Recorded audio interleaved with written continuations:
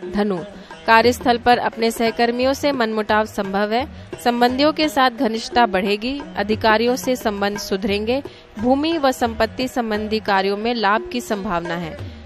व्यापार अच्छा चलेगा।